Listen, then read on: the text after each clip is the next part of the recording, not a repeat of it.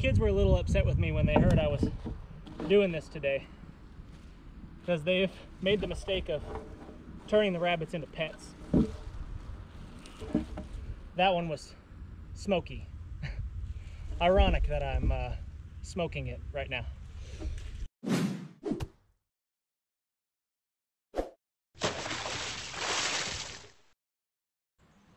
So this is my rabbit tractor here.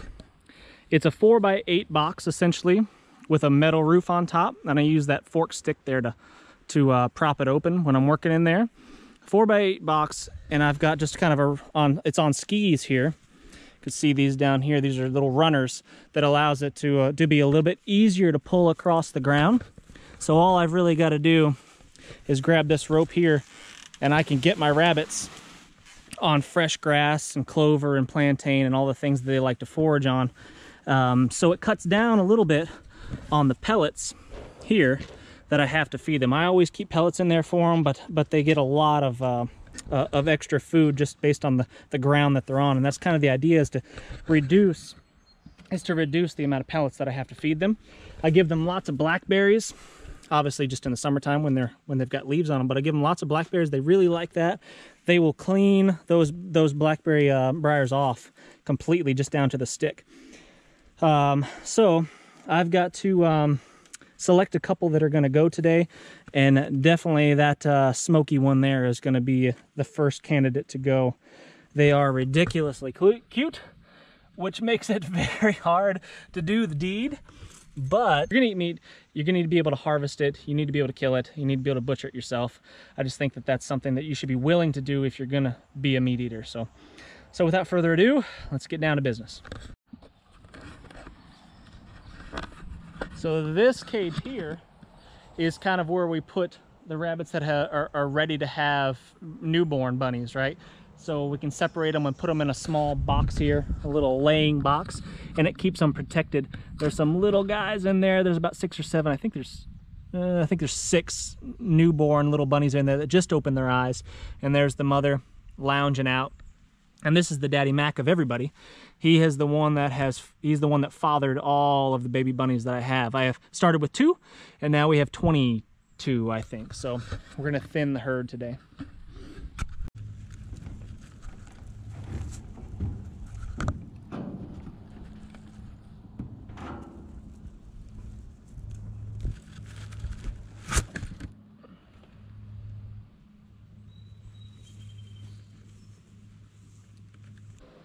So my plan for this rabbit is to make rabbit jerky. And to do that, I'm basically building just a, a small rack here. Well, it's not really small, actually. I use this tripod for all kinds of stuff. I hang big kettles over top and cook over the fire, bake chilies and things. But, but I'm going to drape thin slices of the meat over all these sticks here. And I'm just going to let the sun and the smoke and a little bit of warmth from a fire that I'm going to make underneath from this green wood here. This is all green cherry wood here. I'm going to let that smoke rise up and infuse the meat with a little bit of flavor. I'm gonna put a little salt on it probably, but let the uh, let the sun that comes this direction in the evening is gonna set over here.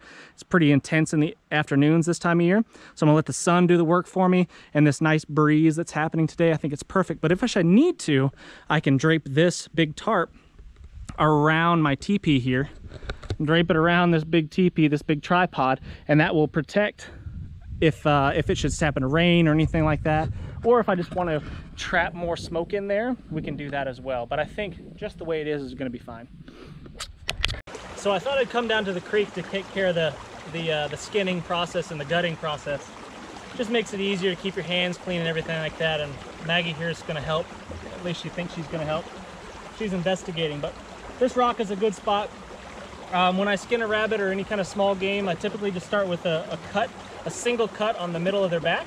And then you can just kind of peel them off like a wet sock. Best way to describe it.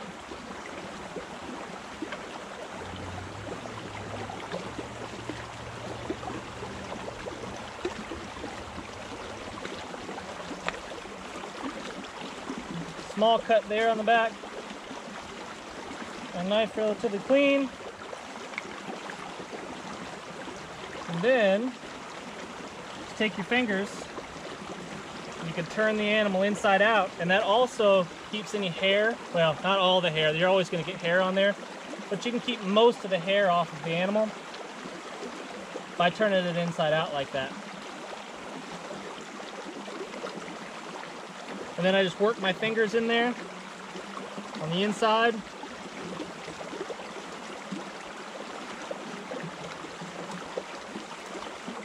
Turning it inside out.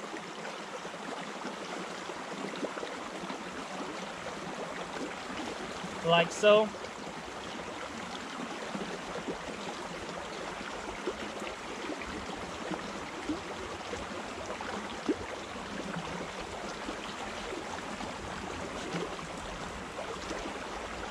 work my thumb inside the leg. And then you can pull the leg down to that joint. I guess it'd be the knee. Or actually be the ankle joint of the animal. Make a small incision and that cuts the tendon. And once you've got the tendon severed, you can turn the joint backwards and then just cut the rest of the tissue and the uh, and then you've got that that leg all the way done and then I'll just repeat the process basically on all four sides on all four limbs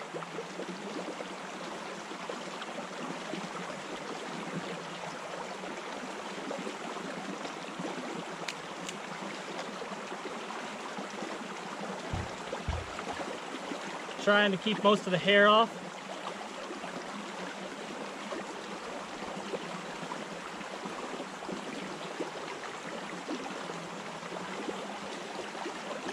And then you can toss these into the woods if you live in a rural area like I do. I just toss these into the woods or on the creek bank and the possums and the raccoons and everything or stray dogs gather them up and eat them up. You could keep the hide I'm not gonna keep this hide because I've got lots, but you can keep the hide and make all kinds of stuff out of it. Very good insulating value. Rabbits are really warm coats. Now Wolf with his head.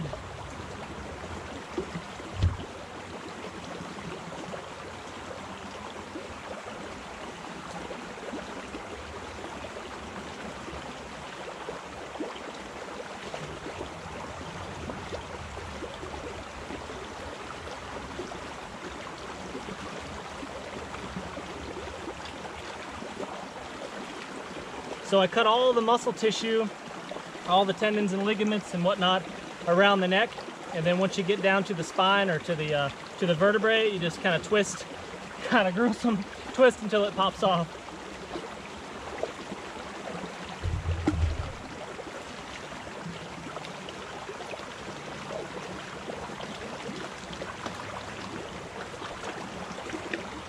And then this can go to the critters. That will not be there tomorrow, guaranteed. Never, never is. Always gone overnight. Something gets it. Coyotes, possums, raccoons are probably the culprit.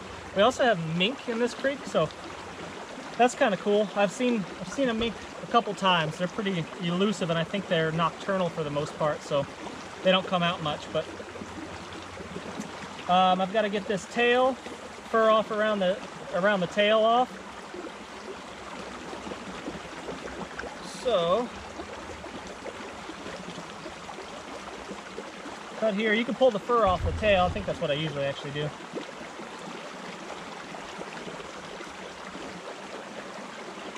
Yeah, just like that. Pull it off.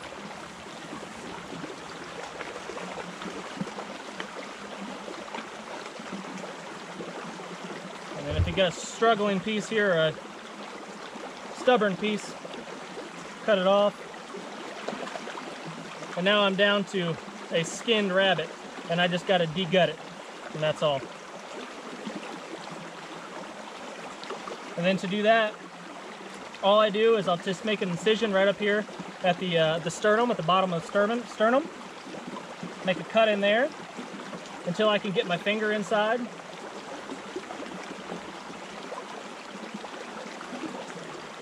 Like that. And then once I get my fingers inside the gut cavity, it's just a matter of running my knife blade. I typically take my finger like this, with so the point is um, is protected and I'm not cutting all the guts and anything that I don't want getting on the meat to taint the meat. I just take my finger there to protect the point and then I'll run it up, or down I should say.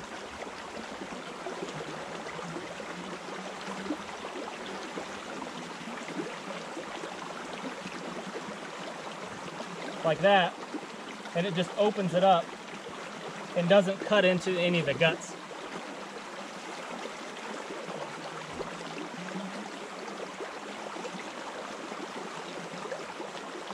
Now I'll probably save these organs for um, for my dog. She'll eat them. I can eat the heart and liver and things like that, but I just don't typically enjoy it, so I just don't don't. If I needed to and was was starving, um, I definitely could do that. But times are good, and I'm not not too worried about it. There's no no sense in it. I can give it to the dog and cut down on uh, dog food costs. So we'll save some of those organs, the, the liver and the liver and the uh, and the heart, and uh, the dog will dog will dig that. So I'll toss that to the side. But the rest of this has got to go.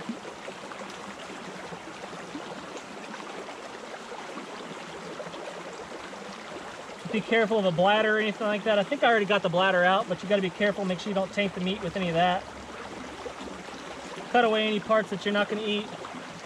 That fat, since I'm making jerky, you don't want the fat because the fat can go rancid and go bad. So I just want lean meat, which a rabbit is a pretty lean animal anyway. Um, so I'll just cut away all the fatty parts and just hang on to the uh, onto the meat, the really lean parts, and we'll cut that into thin strips and, and drape it over our sticks.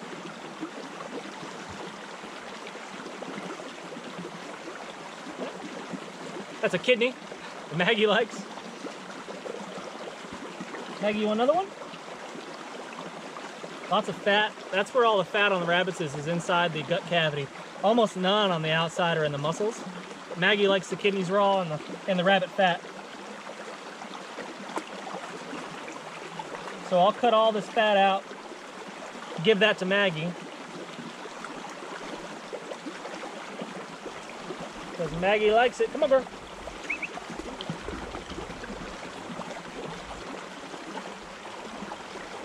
Some. So it doesn't go to waste.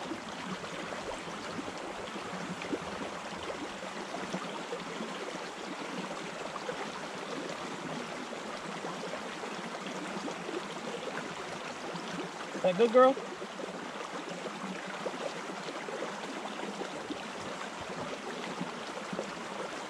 There you go, Maggie. And then there's a little bit of nastiness in here in the pelvic region, so what I'll do is I'll just take my knife and I'll, I'll split that, I'll pry it apart with my hands and split that and then get anything out, out of there that might be, uh, might be unwanted.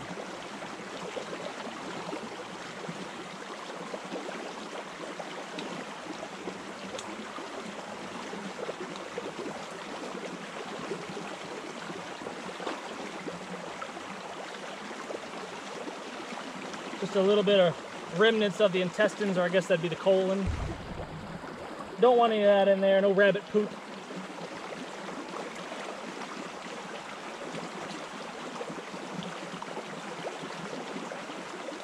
Give that to Maggie.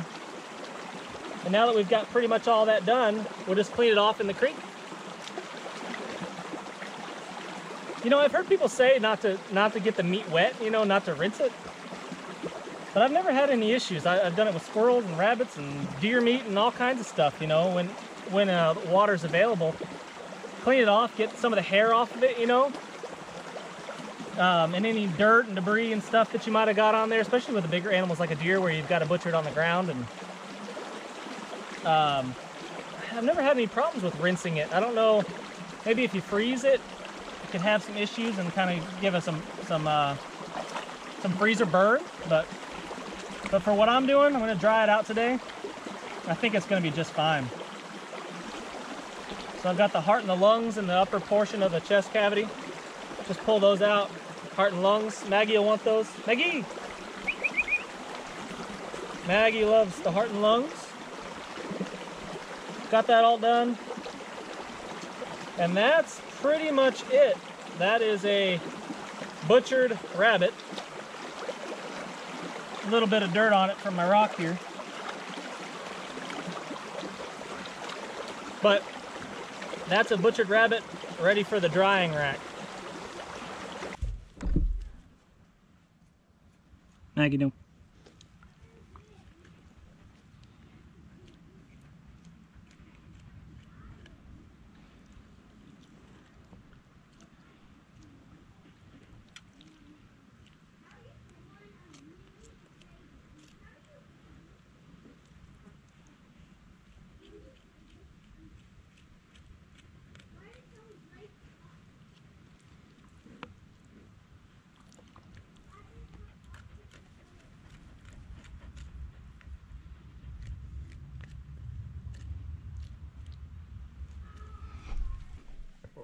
Now my absolute favorite part of the rab rabbit is my rabbit is probably my favorite kind of meat. I, I, think it's the sweetest, most tenderest kind of meat.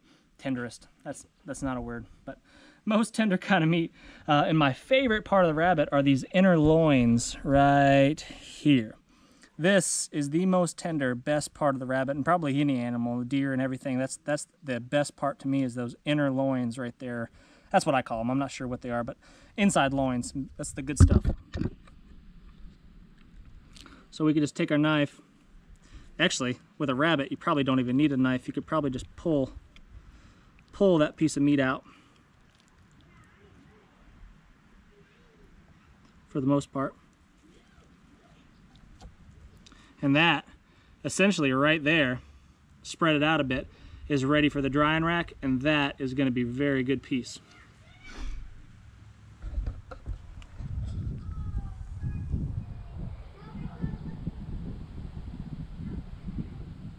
Just like so. Drying meat, to my knowledge, is, is the oldest method of preservation of meat. And there's no reason why we shouldn't still do it. It, it keeps it, you don't have to cook it. It is a form of cooking, I guess. Um, and it keeps forever, it keeps for a long time. And I just like jerky, you know, it's good for the trail and good for just snacking.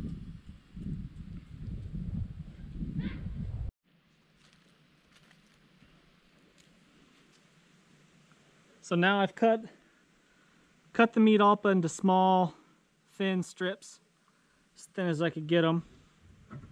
I'm just gonna lay it across my rack here, drape it over as neatly as I can, hopefully without dropping it down to the fire ash pit. Don't want that. This rack isn't pretty, you know, I, I'm not into pretty obviously you can tell by looking at me but uh, but uh, I like things that function and things that work and simple simple ways to get things done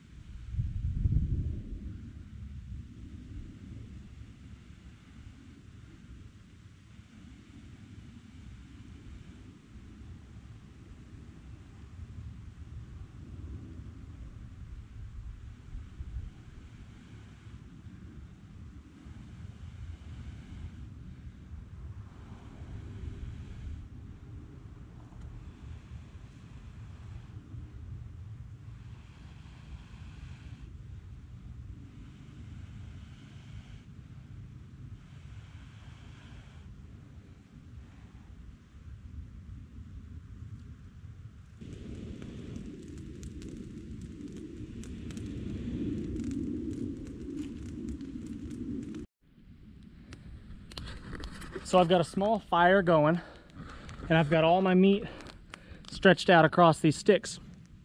I'm not trying to cook the meat with the heat. All I'm trying to do is get some smoke going. So once this fire dies down a little bit, I'm gonna add some more wood to it obviously, but once it dies down a little bit and I've got a good bed of coals, I'm going to add this green cut cherry wood here. And then that smoke is going to flow up into the meat and kind of infuse it with a little bit more flavor. At least that's the uh, that's the goal. I'll put some salt on here. I'll sprinkle a little bit of salt. Actually, I'll do that right now. Take my salt shaker just for a little flavor. And also it helps to dehydrate it, dry it out. So I'll sprinkle some salt on here. Onto each piece pretty liberally. I like salty jerky anyway. So once I've got that all good and salted, I will um, keep working on my fire. And you could tell this meat is already starting to dry out and it's only been on there for maybe an hour, Pro probably not even an hour actually, 30, 45 minutes. And once I've got that good and dry where it's brittle and I can I can break it, then I know it's done and it'll keep for a long time. So I've got a decent bed of coals now and I just started laying in my, my green pieces of wood, my green logs from the cherry tree. Now on hindsight, what I should have done, because the wind is moving, moving primarily this direction, I should have moved my whole rig this way so the smoke would be hitting it a little bit more. But it's a little bit late for that. I mean, I guess I could still do it, but I risk dropping a lot of those in there because those aren't lashed in. These main rungs here, for lack of a better term, are, are lashed in, but these um, but these pieces are just laid on top. And I could probably pull those off, but you know, I kind of risk making a mess of things. So I think I'm just gonna leave it as is and, uh, and run with it. I'll leave it burn like that. A nice small smoky fire for probably a half hour. Then I'll come check on it. If it needs to be stoked up a little bit, I'll do that. Um, but I'll just keep it going until that meat's nice and dry. The sun is just beaming down right now. I don't know if you could see any of that going on, but it is roasting, roasting me. So um, I don't think it's gonna have any problem drying out that meat in a, just a relatively short period of time. You know, I'm gonna, I'm gonna go for it anyway. I'm gonna try to move it this way just a little bit because that's where the wind's blowing. I'm gonna try to do as easy as I can and hopefully, hopefully I don't lose it all.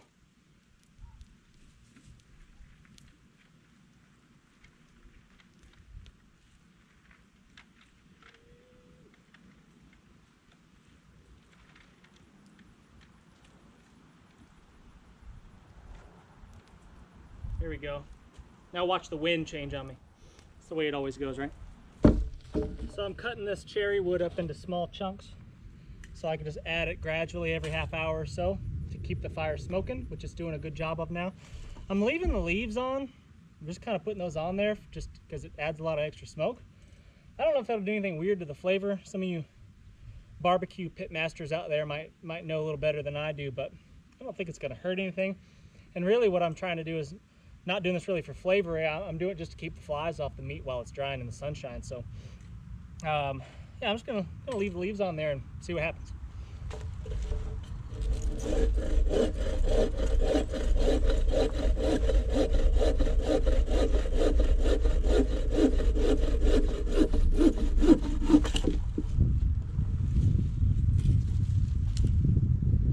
My kids were a little upset with me when they heard I was doing this today because they've made the mistake of turning the rabbits into pets. That one was smoky. Ironic that I'm uh, smoking it right now. But after I explained to them that they have 21 or so more rabbits, they got over it pretty quick. There were no tears shed. So I've been tending the fire for a few hours now, and I've been moving my tripod around as the wind changes just to adjust to get most of the smoke up into the meat. And it's just about done. There's quite a few pieces that are finished, like, you know, some of these really small, these really small, thin pieces are pretty good and dry. It tears pretty good. Maybe it's a little bit longer, but it doesn't taste amazing, but it's good and it'll last a long time. A little bit salty flavor. Probably could have put a little bit more salt and pepper, some spices on there would have been better, but but it'll get the job done. Um, I'm gonna let smoke for probably another hour before I take it off there, um, and then we should be should be good to go. Dried, smoky.